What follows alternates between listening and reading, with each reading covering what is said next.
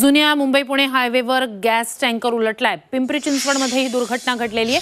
सुदैवानं यात जीवितहानी झाली नाहीये मात्र वायू गळतीच्या भीतीनं स्थानिक यंत्रणा अलर्टवर आली अग्निशमन दलानं घटनास्थळी धाव घेत गॅस गळती होऊ नये याची खबरदारी घेतली पुण्याकडे जाणारी वाहतूक सध्या पर्यायी मार्गानं वळवण्यात आली आहे. तूर्तास या मार्गावर कोणतीही वाहतूक कोंडी दिसत नाहीये. जुन्या मुंबई पुणे हायवेवर गॅस टँकर उलटला मात्र तातडीनं यंत्रणांनी अलर्ट होत. त्या संदर्भात पुढे जी खबरदारी घ्यायची आहे ती घेत घेतलेली आहे. गॅस टँकर उलटल्यानंतर त्या ठिकाणी गळती होऊ नये यासाठी सुद्धा खबरदारी घेण्यात आली आहे.